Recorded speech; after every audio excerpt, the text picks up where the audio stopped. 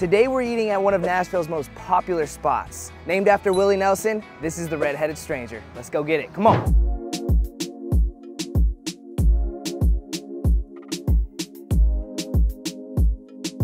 Things that I'm hearing here that you have to try, which I was getting recommendations from fans on Instagram, is the green chili burger. And they have some kind of like knockoff Taco Bell Crunch Wrap Supreme type style here. It's called the OG Crunch Wrap. We're trying that as well. But let's get inside and let's go check it out from the inside. Come on. The one good thing about this place is there's no high expectations because they literally warn you ahead of time. So it says wait after ordering.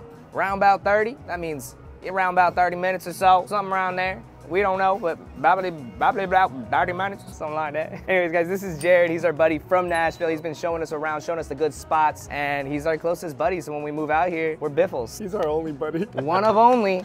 But you know what? He took us kickballing last night. It was a pretty good time. We won, so. Quality, not quantity. Exactly, Jake. Learn that, all right? It's not all the women you have. It's about having one strong, independent man. Okay. I'm assuming they don't have uh, chips and guac here. Why do you say that? Shirt says no chips. Oh, that makes sense. yeah, I can see that they probably wouldn't have some chips here. Look at this sign. We recommend two to three. What is two to three? Taco chorizo and roasted chicken taco? Sorry, Stone Cold. I'm going my way or the highway. How you doing, my man? How's it going? Good, good. Can I get the uh, the green chili burger? Yeah. What are you guys recording for? Oh, we make food reviews. So, so we're here to try the green chili burger, and we're here to try the OG crunch wrap, and then we're also here to try the, the daily special, the chopped brisket sandwich. And that's it. Oh, did you want a beer? Or nah? Get one. Do we want them? Nah, no beers. Okay, and that's it. Six three, six three. Like it's the same, it's just a different headline. It's just a different newspaper. Yeah, I don't know what's going on there, but that dude is right. That's him right there in the kitchen. He grew his beard out a little bit, I can tell. Looks good though. Yo, that girl at the bar is pretty cute, man. She's making me nervous. She's looking my direction. Right there, man, right there. With the in bandana? pink, In the pink. With the bandana. Yeah, the bandana. Oh, She got a long neck to swallow you whole. come on, don't say that kind of stuff. Hey. Try, try, try to get a shot of her. She's looking. Just do it real quick. Oh God, I'm nervous. Ah, Who is that? That's supposed to be Willie Nelson, not a chick. that's a man? Damn it. Not again. We're on the road again. See what I did there? I do. I see it. I see it. I see what you did.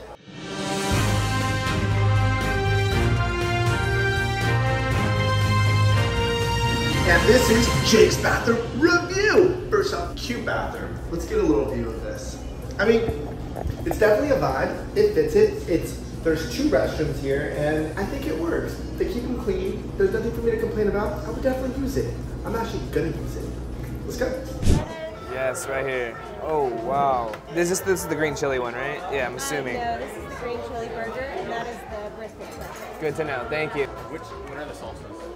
Yeah, so the orange one is Dreamweaver. It's our house-made hot sauce with, um, you know, all house-made. That one's uh, fermented habaneros, curry spices, carrots, and citrus. And then uh, jalapeno hot sauce, and then Dr. Pepper hot sauce. Dr. Pepper, huh? Nice. Okay.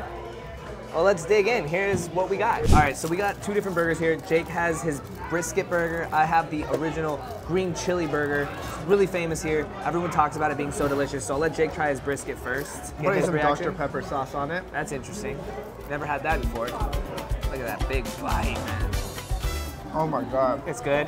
What is those fried things inside? Are those green chilies also? I think so. Interesting. I was a little confused at first because I thought that had been the green chili burger because of the chilies inside, but here are the actual little chilies. They're down here underneath the cheese. It's a little hard to see. So I'm gonna try it just as it is and see how that tastes. Oh, the saliva pull. I can't. Oh. Fire. Oh. Crispy ends, a little spice with that green chili on the inside. The cheese is very creamy. It melts in your mouth. It's all combined together. Really delicious taste here. Let's swap on this one. We're back. All right, bite that side because there's saliva on one side. It's mouth-watering good. Did you put a little sauce? I don't know. That burger is way better. Way better. See, it's like, do I even want to try You Homeboys? can try it. All right, let's try this one.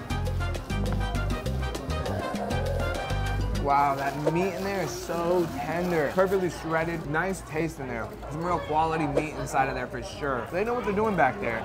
That's for damn sure. This is so far so good. So, They said that they make this sauce out of carrots, which is gonna be pretty interesting. So I'm gonna throw a little bit on here. Oh, it's thick, like baby food carrot. Here we go.